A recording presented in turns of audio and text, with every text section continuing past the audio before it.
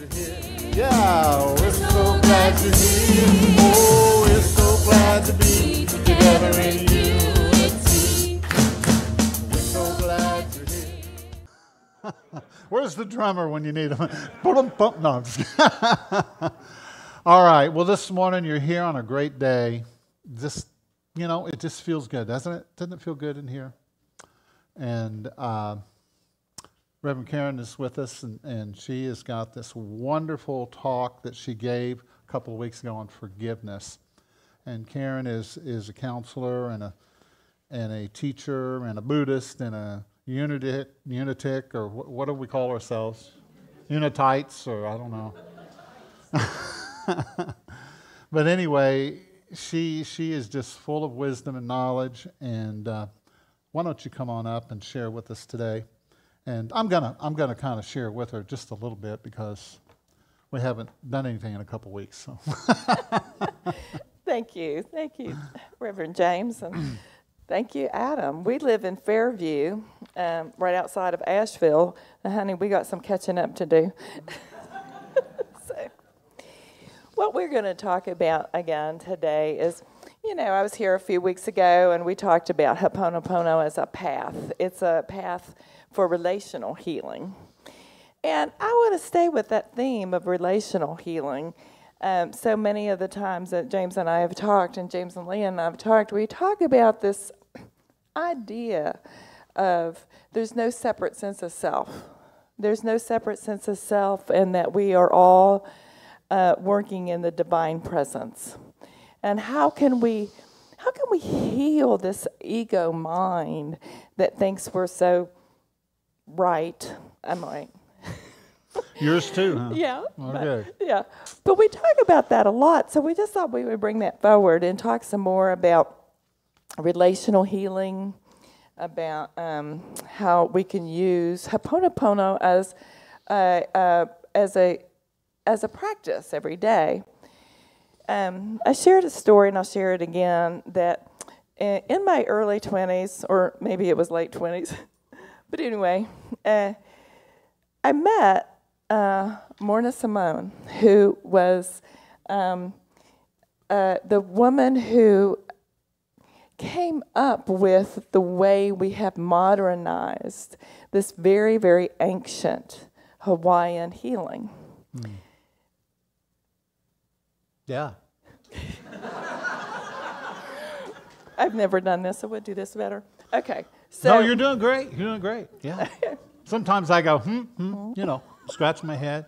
It doesn't really mean anything. Just keep going. so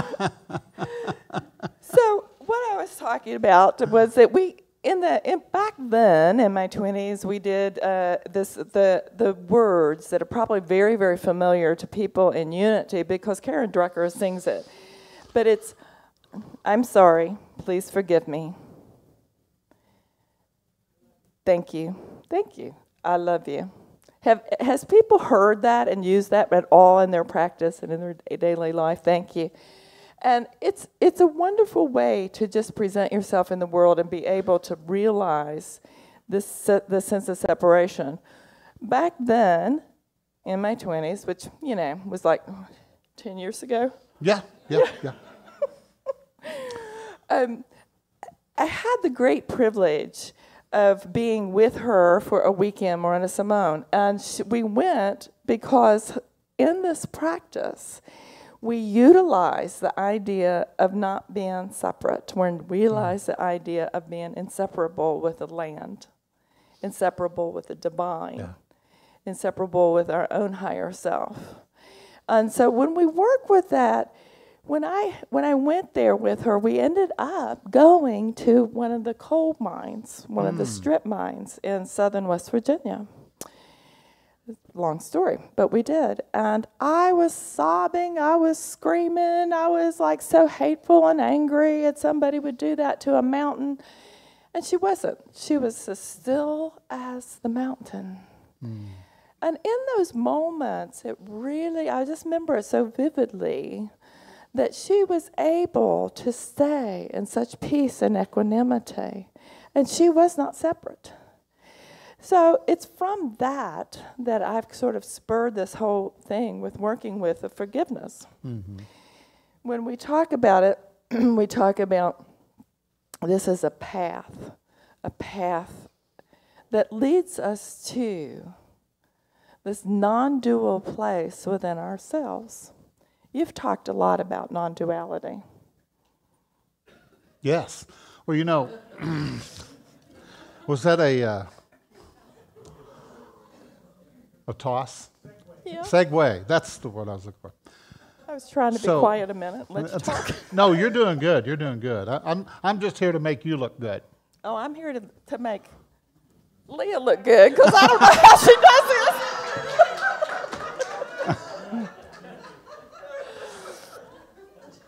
So, dualism, non-duality. You know, how many understand what we live in a in a dualistic world, a, a world that, you know, as you were talking about judgment. You know, just full of judge. People are so full of judgment. That's right. That's wrong. He's up. He's down. She's good. She's bad. You know, and it, it's it's that duality that keeps us from experiencing our oneness. And so, what is forgiveness? Forgiveness is that reconciling energy that gets us back into alignment with our oneness with the mountain, with the land, with the trees, with each other, right? So, so that's why this prayer, this, these four lines are so important. I am so sorry. You know, how many appreciate hearing that from your from your significant other from time to time, right? Right? I mean, no, we, we have to make amends. And it's because our energy gets gets turned around, we get crossways with each other. And so there there has to be a um, a release of our need to be right. Amen. Need to be right. That one's mine. I love being right. Does anybody else love being right? Oh, Some- somebody said, being right doesn't always make you happy. Well, it makes me happy. but it doesn't really bring a lot of peace in my life, right? Because it, what it does, it solidifies that ego sense of self that I'm right, because if I'm right, you have to be wrong. So that is this duality that we can address. How can we believe in one thing and really believe in it and allow other people and include other people's diverse opinions and diverse ideas? So it's it's different. It's a different way to approach the world. It's really a healing. It's a healing of it's a relational healing.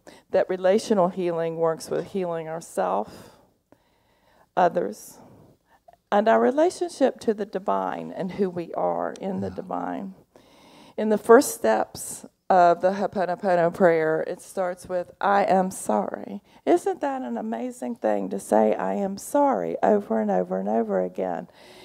Well, the problem that I have with that line Okay. is there's a lot of things going on I didn't have anything to do with, and I'm not sorry about. How did I get in there? right? Okay. Do you feel that way sometimes? Oh, sure. Yeah. Well, you know, it's it's when you say I'm sorry, if you take the word literally, it means, you know, I'm a wretch.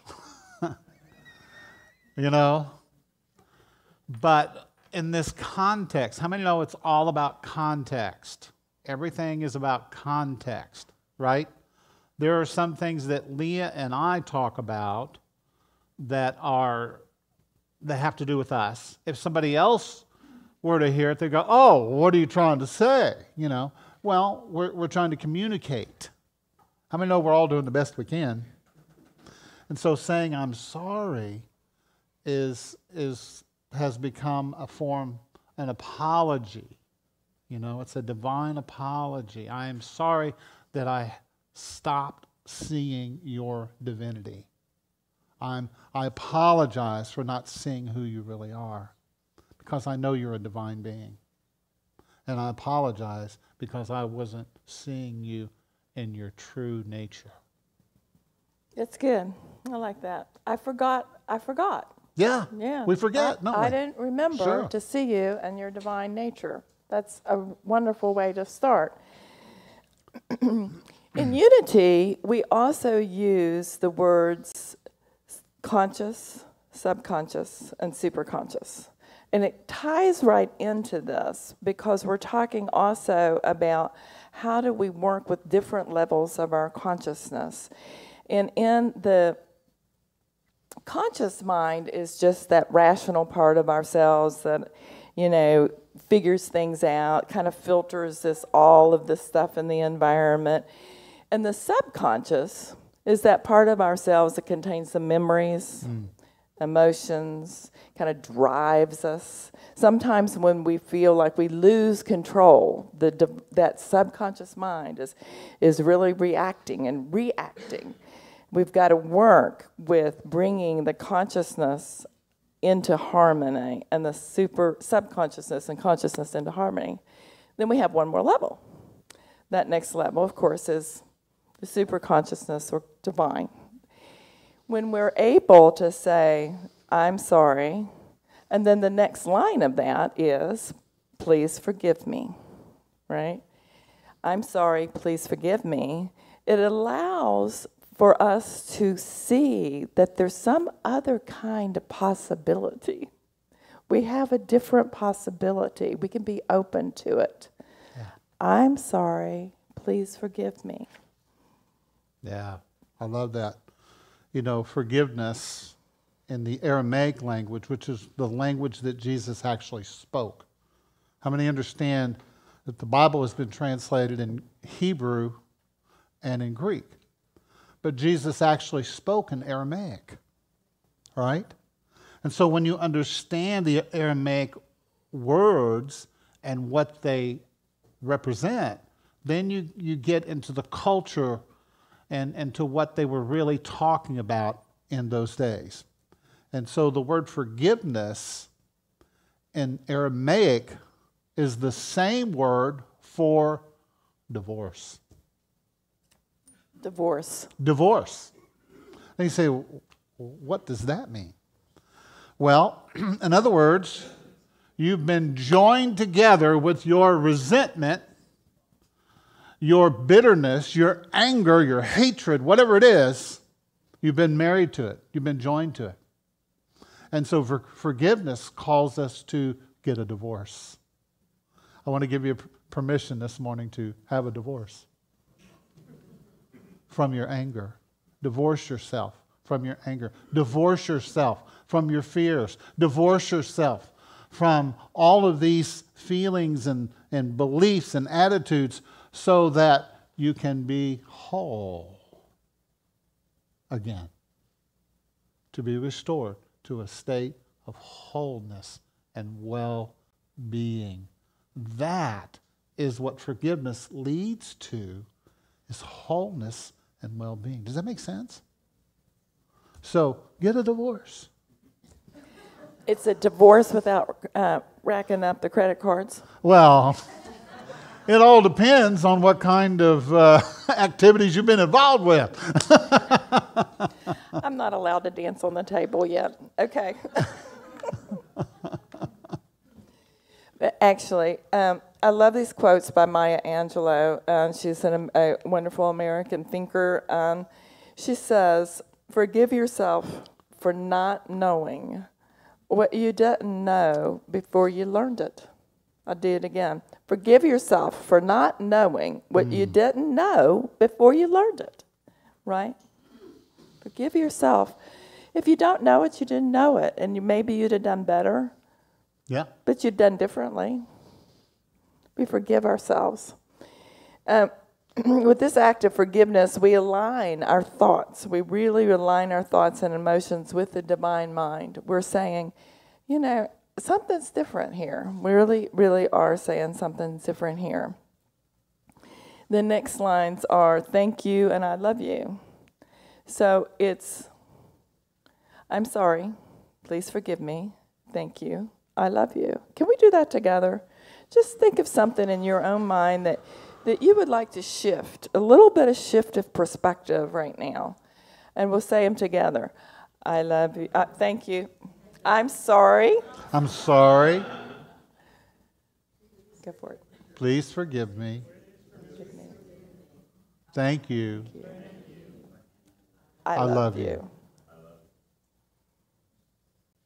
Just take a moment to breathe that in just a little bit. And feel any kind of shift in your mind and your body. We'll do it again. Just kind of be specific. It can be not something the greatest thing in your life, but it could just be something like, I don't know, that person that cut you off in traffic, somebody that you're kind of irritated with. And look at them and hold them in your mind. And just say, I am sorry. I'm sorry. Please forgive me. Please forgive me. Thank you. Thank you. I love you. I love you.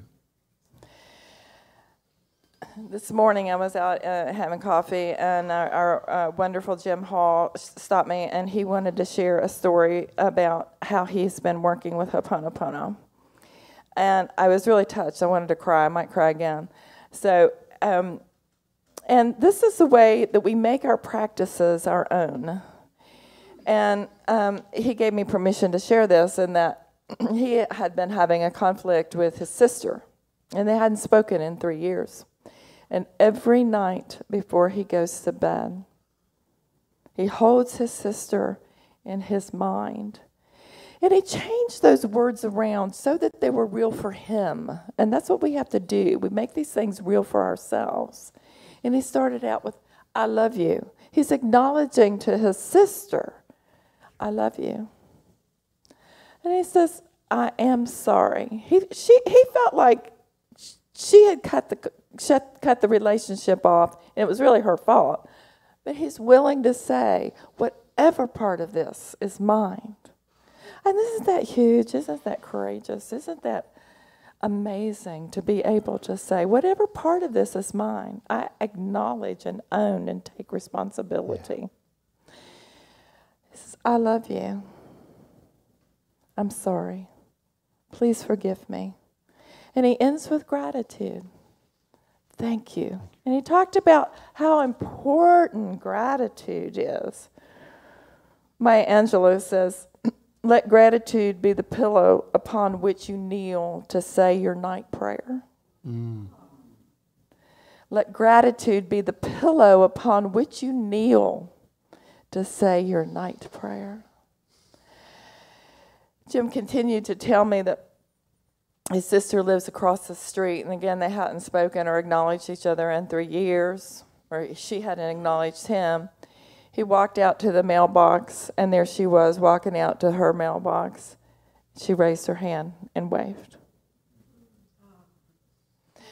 That's grace. That's divine reconciliation. That is the, the that's why we're here. That's what we do. Is to create that healing consciousness. And thank you, Jim, so much for sharing that. It's a it's a and in um, psychology, Gottman, um, uh, he's uh one of the researcher. He takes a lot of this stuff out and does really, really social science research. And he said the beginning of relational healing is the repair. It's a waving. It's saying hi. It's saying here. I acknowledge you. I see you. I see you. So that is the way that we can take these practices into our lives for healing. Beautiful, beautiful. I love that. You know, healing relationships is something that we're all working on in this world right now, right? Our relationships with each other need healing. And there's nothing I can do about the other, the person over there that I have the problem with, right? There's nothing, I can't manipulate them to, to be grateful. You need to be grateful.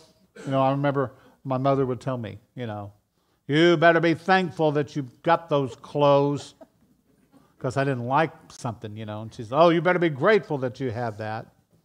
Grateful And- you got food, and even if you don't right. like it, That's right.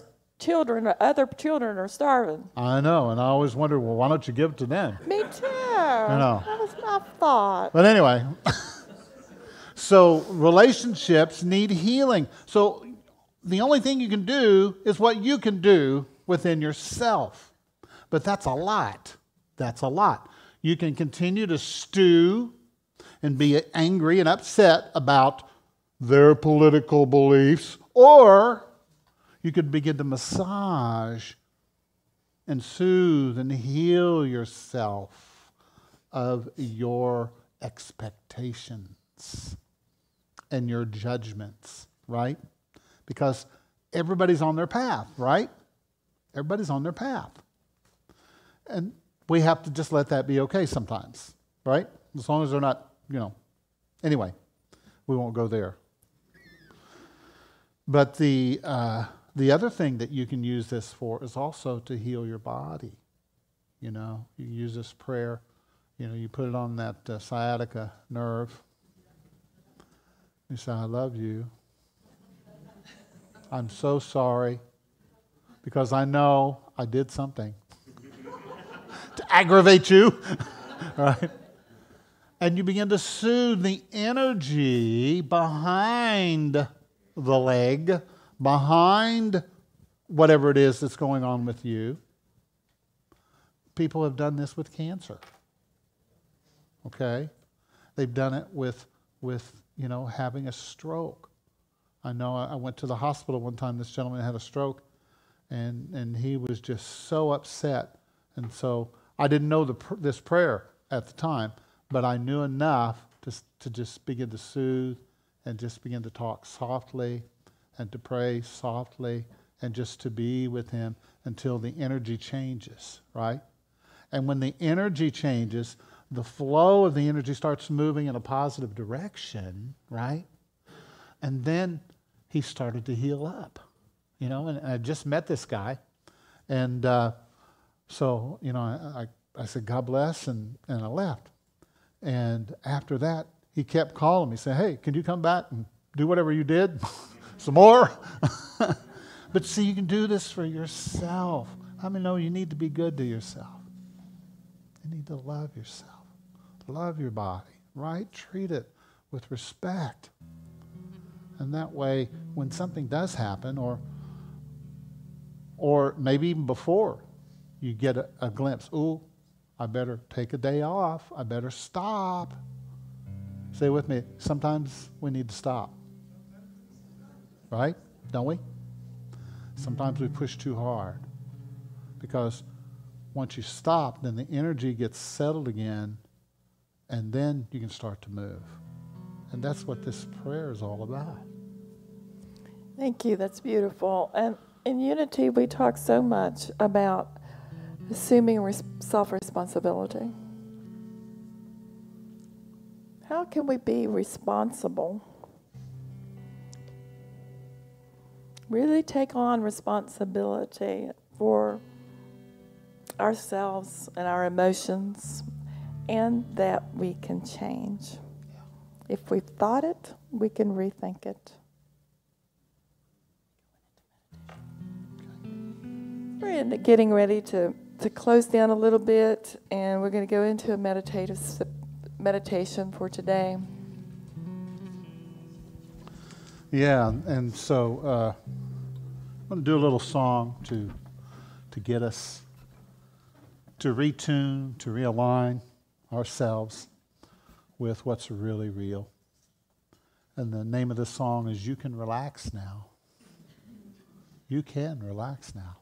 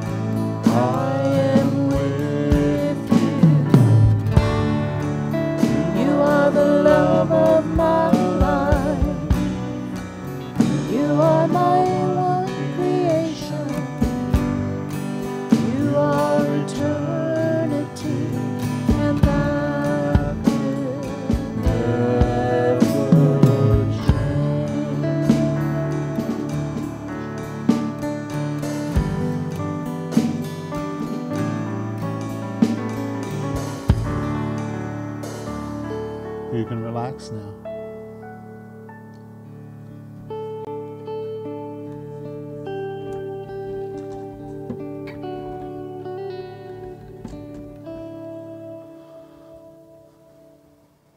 Let me just take that deep breath. Allowing your, yourself to drop to your heart and feel that you are not separate.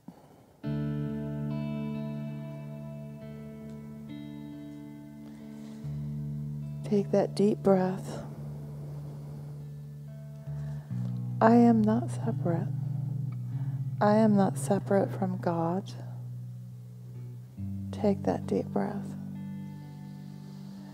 And into our heart, we know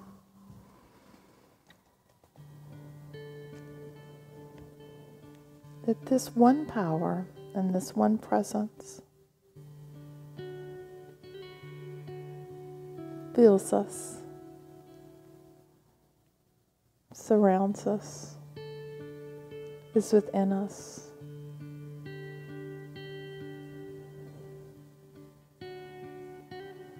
in this one presence is filling this entire room, the land we stand on, that which we call states and countries and oceans, is one consciousness. We allow ourselves to get big and expansive and flow.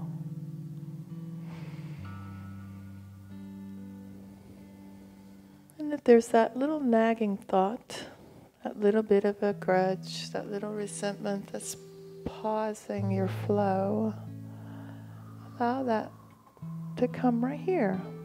Don't push it away. Come right here. and hold it.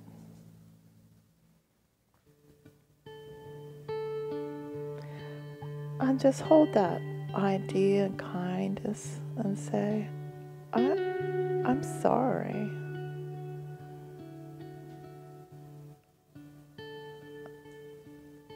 Please forgive me.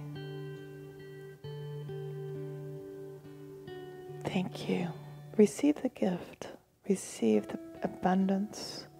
Receive the gift through thank you and gratitude and just receive your innocence. I love you. I am love. I love you. I am love. And feel how lovable you are. Take those deep breaths.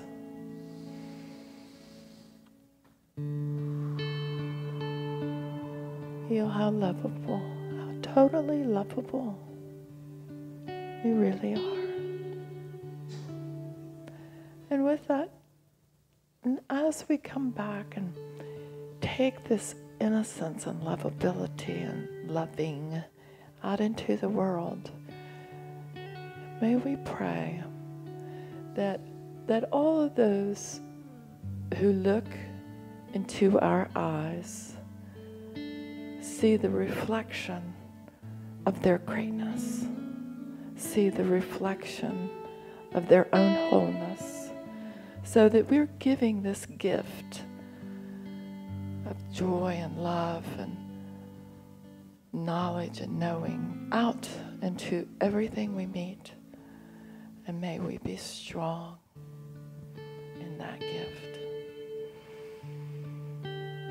We feel it now, and we say to the divine, Thank you, thank you, thank you.